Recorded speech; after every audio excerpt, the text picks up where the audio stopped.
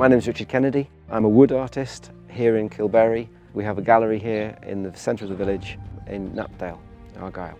People tend to sort of miss this little bit out as they rush to go north and they miss a real treat because the coastline here is, is spectacular. There's some of the best roads along beaches that you'll find anywhere in Scotland. The views across to Islay and Jura are just spectacular.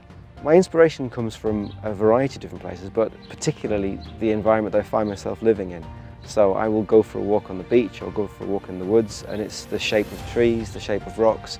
Um, you can see just so many different things from the very, very small to the sort of the hills themselves.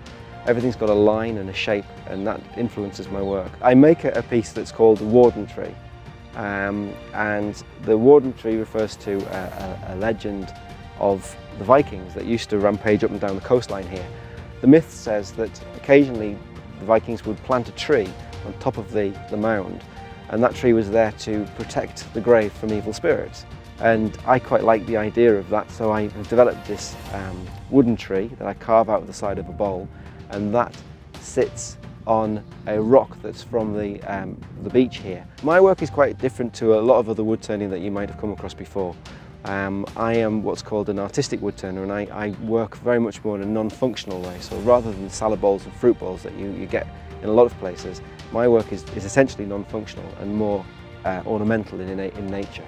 Um, I'm well known for my pattern work, uh, which, which I, I have displayed all over the world. I'm on the Wander Argyll route and you can find me in Kilberry.